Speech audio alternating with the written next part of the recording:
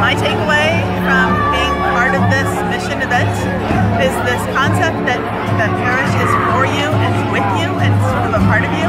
I love that image we talked about last night that it's part of you from like your your baptism as a child all the way to natural death. Um, as a person who kind of has gypsy blood in me, I've moved around a lot and I've been a part of a lot of different parishes. But honestly, this is the first